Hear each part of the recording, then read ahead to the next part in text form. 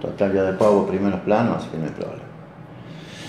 Bueno, tenemos la posibilidad de estar con Miguel Ramón. Bueno, Miguel, eh, estamos acá con Segundo Niño, ¿no? Sí, sí, sí. Un nuevo proyecto y que la continuidad al primero.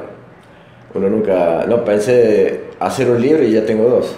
Digo, ¿se le puede decir proyecto o se le puede decir segunda realidad. Digo, porque por ahí está bien, los proyectos son lo que uno va proyectándose en la vida, pero estas son realidades también, ¿no? Porque el primero fue eh, el que se lanzó y con el cual eh, entraste en la presentación de todo.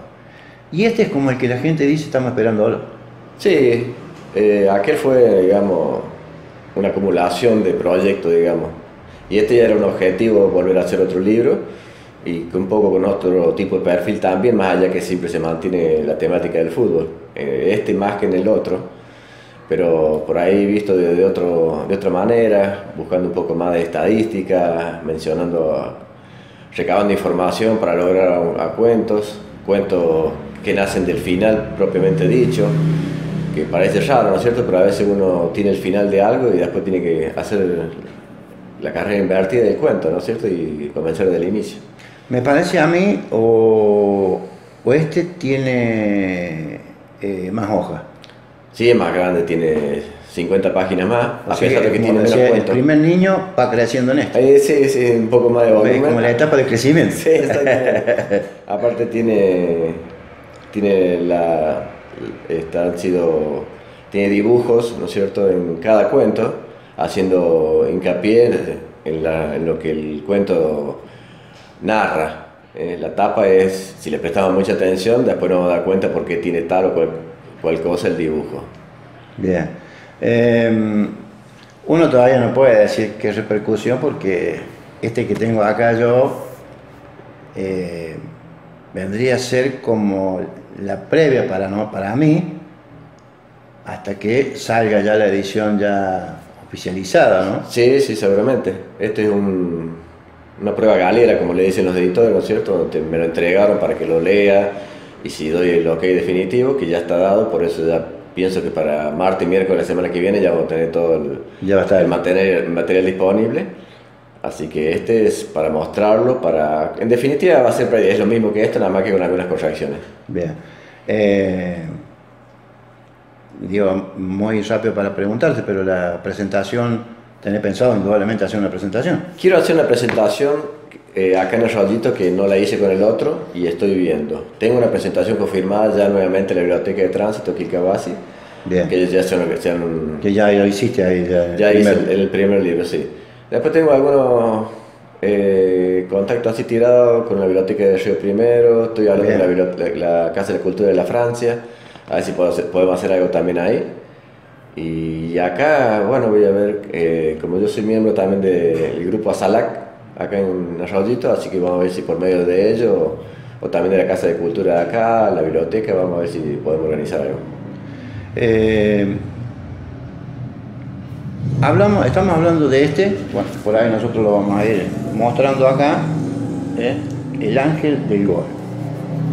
El, el primero, digo, eh, pudo satisfacer todo lo que vos tenías como expectativa, eh, te encontraste con sorpresas tras la salida del libro, digo, gente que por ahí vos decías, eh, porque los habitués vos sabés que lo iban a consumir por, la mitad, porque decía, justo reconocerlo, sabemos quién es Miguel Ramón, y sabemos que si vamos a leer un producto de Miguel Ramón en la vivencia del fútbol, sabemos que eh, la mayoría vamos a, vamos a ver algo que realmente ha ocurrido, que ha pasado, más allá de, de las anécdotas y todo eso.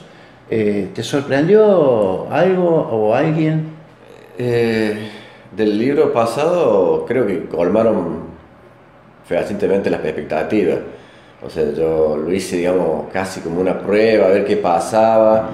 Eh, a pesar de que editar un libro para escritores independientes es muy caro, muy caro, porque nadie te, no te sponsorean, las editoriales tenés que pagar libro por libro, entonces todo después tenés que recuperarlo con la venta.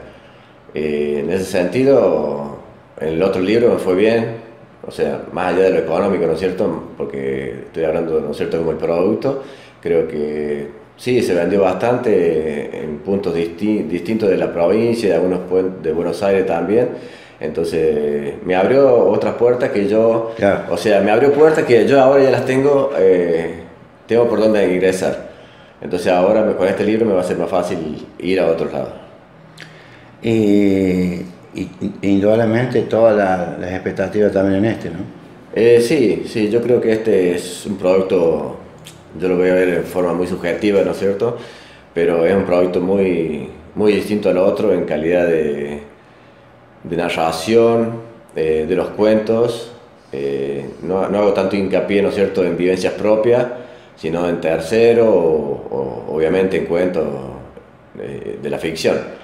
Eh, esta vez yo, sé, yo soy muy maradoniano por lo que Maradona hizo dentro de la cancha, entonces no, lo de afuera no me interesa nunca, no me interesa hablar, porque un ciudadano más para mí. Y es, la vida de, y es la vida de cada uno. Sí, por supuesto. Y he hecho, en el libro pasado hice alusión a algunos cuentos con él. Y en este también eh, cuento algo que realmente nadie conoce, que es lo que pasó eh, aquel 22 de junio en el Azteca, en el vestuario, después del partido, post partido. Porque muchas crónicas dicen la previa, lo que sucedió en el partido, el gol con la mano, el inolvidable gol del siglo, pero cuando se cerró el vestuario tuve la posibilidad tengo la posibilidad de saber lo que pasó ya antes. ¿Qué pasó antes? Así que en el cuento lo, lo van a poder hacer. Así que esperen, eh, lean el libro. Sí, sí, eso. No, es ningún gancho, nada, pero está para mí uno de los mejores cuentos que Iluminado por su gloria. Digo, porque lo que vos señalabas recién del tema de Maradona, el tema de México, eh, no sé si tuviste la posibilidad de verlo, seguramente sí, la, nota que le hicieron a Gary Lineker, el inglés, donde habla de Maradona, y vos decís, eh, digamos, la, la apreciación que él tiene sobre el genio Diego Armando Maradona, ¿no? Y él lo toma por ahí como la jugada del gol con la mano, lo toma él, y creo que da un ejemplo claro, es una jugada que él no dice que es típico argentino, pero, pero él le pone un sello. Eh, dice que por ahí, a lo mejor si ellos lo hacían, eh, ellos, ah, por la cultura se ve de otra manera, pero él dice Maradona eh, único. único me da hincapié a hablar, de Gary Lineker, eh, que después que, se, que yo envío el producto todo para el libro, cierro, ¿no es cierto? Se empieza a imprimir, eh, consigo un testimonio de un jugador inglés, que él me cuenta verazmente, ¿no es cierto?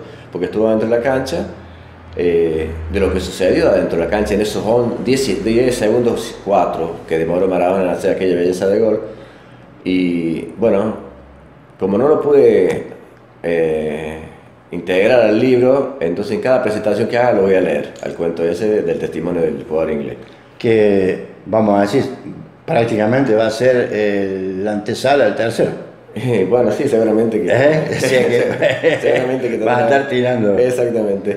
Eh, y como te decía, hablaba mucho de Maradona, hay un par de cuentos más, ¿no es cierto? Acá cuando Maradona llega Argentina Junior, aquella novena, hay algo de esto también. Pero quería referirme también a Messi, que es otro grandísimo jugador, ¿no es cierto? Tan vapuleado por la prensa, por la opinión pública nuestra directamente, ¿no es cierto? Que si no levanta la copa no sirve, eso es muy de argentino. Bueno, le he dedicado un cuento ahora, ¿no es cierto? De, y descubro en ese cuento realmente de qué planeta viene Messi. Lionel Messi. Así que es dentro de los, de los cuentos que tengo acá. Digo, Miguel, este libro, eh, cuando no bien sacaste el primer libro y todos tuvieron la posibilidad de tenerlo, es lo que dije hace un rato yo, la mayoría dice, ¿y cuándo se viene el segundo? Bueno, la respuesta está en este, ¿no? Seguramente que cuando agarren este dirán, eh, tenés proyectado ya el tercero, porque somos todos muy ansiosos, ¿no? Sí. Pero tiene que tener un recorrido este. Eh, vos sabés, Fernando, que yo acá hay cuentos de que no pudieron entrar en el libro anterior y que no, no, no, tienen vigencia, digamos, de, de, la actualidad, digamos, o sea, no son cuentos de, referidos a la actualidad, sino en general de tiempo, de cualquier tiempo, ¿no es cierto? Entonces lo, lo he incluido acá. Y, es, y acá en este libro había, primeramente tenía pensado en eh, agregar cuentos que no tienen nada que ver con el fútbol, pero lo hice muy futbolístico y dejé, yo creo que tengo material como para hacer un libro, ¿no es cierto?, que no tiene nada que ver con el fútbol, sino de cuentos camperos, de cuentos de ciudadano, de, de otra de otra índole, ¿no es cierto? O sea que está Así que, proyecto. exactamente, la proyección mía es que el próximo libro no sea referido a fútbol, o puede haber otro paralelamente, ¿no es cierto? bien, Pero sí, sí. me estoy abocando en la escritura de, de cuentos que no estén relacionados con el fútbol. ¿Qué, qué se siente, Miguel? Digo, por ahí, eh, los cuentos, las anécdotas, todo esto. Hablo de, la temática general, ¿no? Porque en este caso hablamos del fútbol, pero vos me estás planteando otra opción. ¿qué se siente? Poder reflejarlo, poder ponerlo en letras y que la gente lo pueda disfrutar después. Y una satisfacción enorme principalmente para mí, porque me ha hecho crecer como persona culturalmente, porque me ha dado la posibilidad de ir a muchas ferias de libros a ver, a participar de afuera como invitado, a con algunos escritores que uno los tenía allá arriba y siguen, siguen estando allá arriba, ¿no es cierto? Pero bueno, aprender y ver que ese tipo de escritores que muy famosos eh, son ciudadanos comunes que, que te alientan a seguir escribiendo, que a lo mejor tienen, a veces hay un poco de suerte también, de pegar con algún cuento importante, que alguien te lo lea, como me sucedió ahora hace poquito. Eh, te voy a contar, eh, me relacioné con un señor de Mar de Plata que estaba por imprimir una revista, se llama una revista de cómic, no tiene nada que ver con el fútbol, nada, ¿no? Cómic, todo de, de superhéroe y qué sé yo. Sí. Y, y le dije, pusimos a- por las redes sociales, dije que yo escribía temáticas sobre el fútbol, que- pero tenía algunos otros cuentos, y me dice, bueno, mándame algún cuento. ¿no?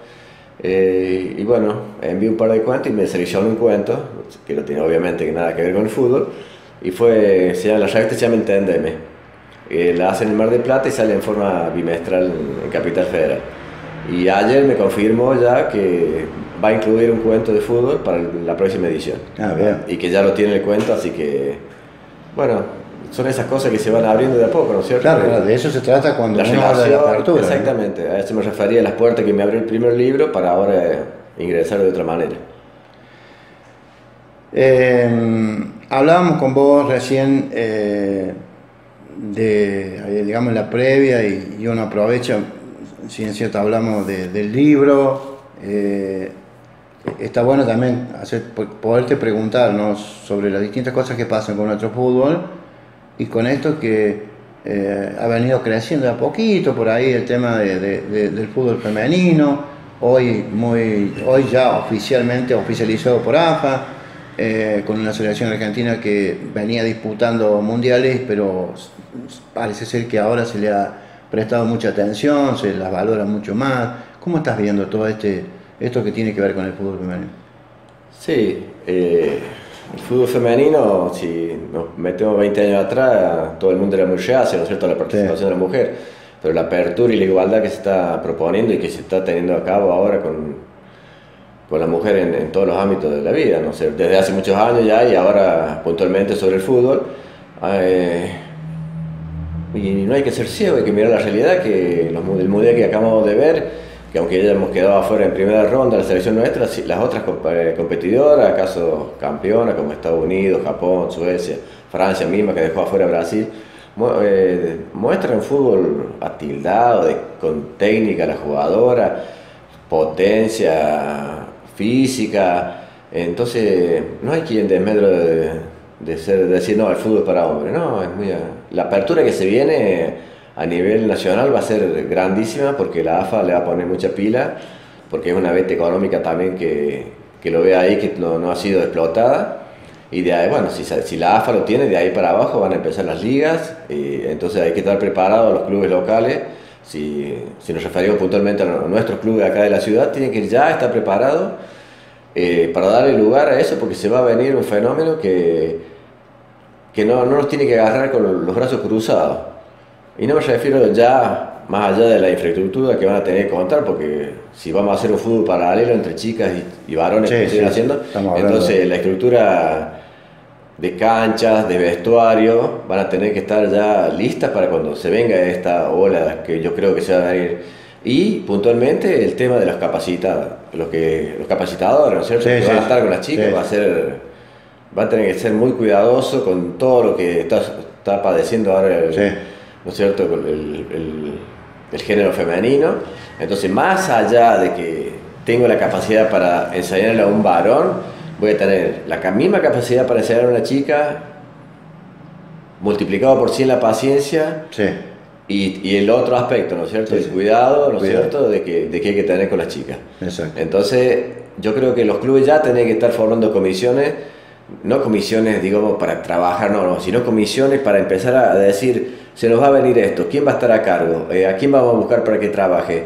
¿Cuál va a ser el espacio que le vamos a dar? Entonces, que no los sorprenda, que no se dejen sorprender cuando van a empezar a venir y, no está bueno que los empiecen a hacer practicar con los chicos, ¿no es cierto? Porque cada uno en, en su género. Eh, yo sé que estamos hablando del libro, yo sé que queremos seguir hablando del libro, pero tengo la posibilidad de tenerlo al pato y no, no, no quiero desaprovechar porque uno eh, es como que le van, le van llegando este, cosas para preguntar. Eh, el fenómeno tránsito y el fútbol.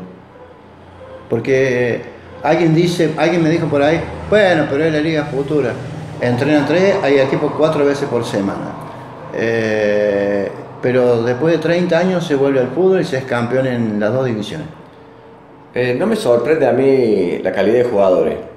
Para esa liga futura no me sorprende la calidad porque conozco, es más, sin querer errar, pero el 70% de los chicos que están jugando ahí los he tenido cuando teníamos con sí. la, la, escuela de fútbol amistad.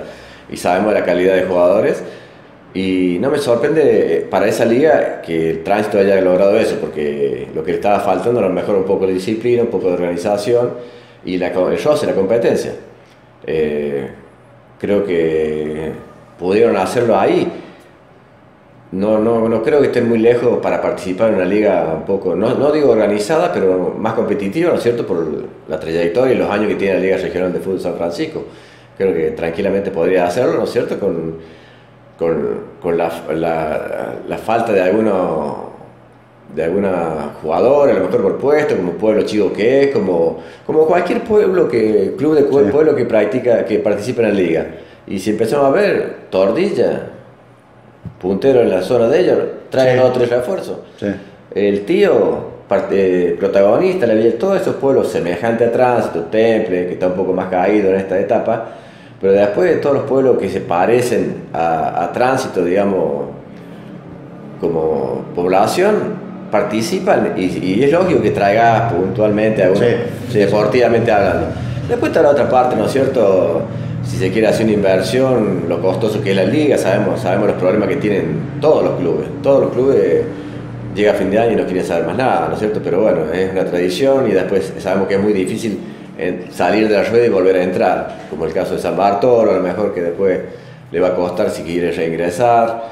Eh, bueno, San Bartolo participó en esa Liga Futuro con, por haber salido segundo, no quiere decir que ha hecho mal las no, cosas, ¿no es cierto? Llegó a la final y bueno, creo que la competencia es, es prolija y se tiene que mejorar como esto fue una prueba, ¿no es cierto? Tendrá que mejorar de todos los, los ámbitos, ¿no es cierto? Dirigencial, deportivo arbitrar, y, y, como todo, siempre hay que mejorar. Pero creo que ha sido una, una, grata sorpresa, una linda sorpresa que Tránsito haya participado y haya logrado lo que logró por el esfuerzo que conozco de, de Chacelá, que hace 30 años que está en el fútbol infantil, el profe Benedete, que se, los ha acompañado, Fernando Bertos, el cuerpo técnico estoy nombrando. Creo que es un gran logro. Eh, volvemos nuevamente al ángel del gol, al libro. Eh, ¿Tenés alguno de los eh, cuentos que vos lo tenés como el preferido? Si bien es cierto, los debes querer a todos. O, ponerlo así, ¿cuál crees que la gente le puede, puede tomarlo como que lo puede cautivar más? Mira, hay algunos cuentos muy sentimentales y muy personales. Eh, yo veo acá, eh, hay unos cuentos que se llama el día que conoció a su otro abuelo, es un cuento que yo me pongo en la piel de mi hijo. O sea, no es lo que me sucedió a mí, sino lo que yo imagino que le puede haber sucedido a mi hijo, porque no conoció a su abuelo, que sería mi padre. Entonces, sentimentalmente y muy particular, es muy emotivo ese, ese cuento. Pero después hay, hay, muchos cuentos, ¿no es cierto?, que, el que te decía recién yo, iluminado por, por su gloria, lo que sucede dentro de, sí. de, la Azteca bueno, es, ese, es, ese muy me bueno. parece que van a... Para mí ese es muy bueno. Y también hay un cuento que hay, hay, hay, un, hay gente de un pequeño grupo que me dice a mí Gran Casaca 6. No sé por qué el gran, pero Casaca 6 sí sé porque jugaba de 6. Sí. Y yo siempre decía que yo no era Casaca 6, nunca. Yo cuando llegué a Cultural, cuando me trajo eh, Jiménez, el Torito Jiménez, me trajo a jugar en aquella de 82, por allá. Eh, yo era volante, volante por derecha. Era, sí. Después, obviamente, no, no me daba ni, suerte jugué allá atrás porque tenía, porque tenía grandes dos como no, no, bueno, bueno. el Chivo Romero, ¿no es cierto? Por eso me ayudaron mucho. Pero yo siempre decía, bueno, yo aceptaba que me dijeran casa casay, ¿no es cierto? Y acá desmitifico por qué no soy casa casay. Acá, acá está el cuento tan involucrado, eh, por qué no soy casa casay, que termina sabiendo que realmente no merecí ser nunca ni siquiera jugador de fútbol, pero el, el, que me saque el puesto a mí tiene que leer ese cuento que para mí es, es uno de los mejores. Nunca fui casa a casa. Y después hay muchos cuentos, hay anécdotas como el macanazo del, macanazo del Maracana, lo que sucedió en el año 50, que yo después lo viví un, un viaje conociendo el Maracana, me cuentan la anécdota de lo que sucedió, y yo me pongo en la, en la piel de un hincha uruguayo y, claro. y grito los goles uruguayos en pleno Maracana, y, se arma una que no te quería. Entonces... Eh, bueno, hay, hay muchos cuentos. Por eso te digo, eh, este es muy superior al otro porque, porque por calidad, por un montón de situaciones que se dan. Eh, no, no hago una comparación, pero en el mismo cuento fue junto a Pelé, a Maradona y a Messi. O sea, pero eso es más que, que un cuento, es una estadística que doy a conocer a la gente de, de los perdedores del fútbol. Porque esos tres son los máximos ganadores. Sí, o sea, no, no, se puede discutir, ¿no es cierto? Ni a los grandes estrellas como Federer en su deporte del tenis, o no sé, algún boxeador como Monzón, o no sé, los basquetbolistas de ahora, los barrios. Eh, pero yo hago mención en ese los perdedores, que también hay que acordarse de vez en cuando, ¿no es cierto? Sí. Porque siempre te toca perder, siempre te toca perder, y bueno, que alguien los reconozca. Yo creo que acá reconozco a tres perdedores eh, que bien merecidos los tienen. Y después hay un cuento que se llama De Atlanta por error, que es, es un cuento cuento porque, aunque esté relacionado con personajes de mi infancia, cuento por qué me hice de Atlanta yo, sin querer. O sea, yo nunca fui de Atlanta, pero a, a partir de que me regalan una camiseta de Atlanta por equivocación, ya empiezo yo a averiguar lo que era Atlanta, porque yo no conocía nada de Atlanta. Desde tránsito a los 7, 8 años, no sabía que existía Atlanta yo. Entonces empiezo a verificar, a ver, no habían nunca ganado un campeonato, no habían jugado nunca copa, siempre estaban en la B y las alegrías que tenía era porque decía, bueno, en esa época el Loco Gata había salido de Atlanta, los sí. Eh, después el, Luis Fartí, mi padre, había salido de ahí, entonces yo en, los, recreos de los colegios me hacía de grande porque habían salido de ahí, Graciani, me acuerdo aquel jugador de Boca, de derecho, entonces yo desde ahí me agarraba, me aferraba para, para decir por qué era de Atlanta, nada más, pero fui de Atlanta por error, como dice el cuento. Eh, Miguel, eh, la semana que viene ya podría estar sí, en la calle. Sí, mitad de semana sí. ¿Dónde se lo va a estar eh, para que la gente lo pueda conseguir, para que la gente pueda tomar contacto con él? Si bien es cierto, va a, va a haber publicaciones, todo. Sí, sí, en las redes, yo en las redes estoy en, en todas las redes como Pato Ramón, en Instagram, Twitter o en Facebook, ¿no es cierto? Estoy, conseguir a quien te los venda acá en un, en un, lugar, yo no conseguí el libro pasado, me comercializaron en alguna librería, voy a insistir de nuevo ahora para, para que se le haga más fácil, si no es muy fácil conseguir mi, por medio del Facebook o, mi teléfono, lo que sea, si hay que dárselo, no, no tengo inconveniente para que se pongan en contacto conmigo. Y se lo entrego autografía y todo, digamos. Bien, bien, bien, muy bien. No, no, no. Eh, está bueno. Eh, está bueno. Si querés dejar el, querés dejar número, querés sí. dejar, no hay ningún problema. Lo pasamos, 15 y 479, 824, después lo repetís vos y. Listo, listo. No hay ningún problema. Estamos en contacto con la gente. Eh, indudablemente, de toda la región, eh, vamos a estar proyectándolo a los medios. Eh, también porque la verdad que si no promocionamos a nuestra gente, digo por ahí, eh, quemamos minutos promocionando, que también se lo merecen indudablemente gente, escritores de otros lugares, eh, hay que dedicarle hay que darle la prioridad a los nuestros, ¿no? Sí, los y, nuestros. y también quiero hacer una apertura a las escuelas y porque me tiró, hay un profesor que me tiró una idea si no quiero ir a, a charlar sobre la escritura, sobre el fútbol y algunos otros temas. Está Eh, bien.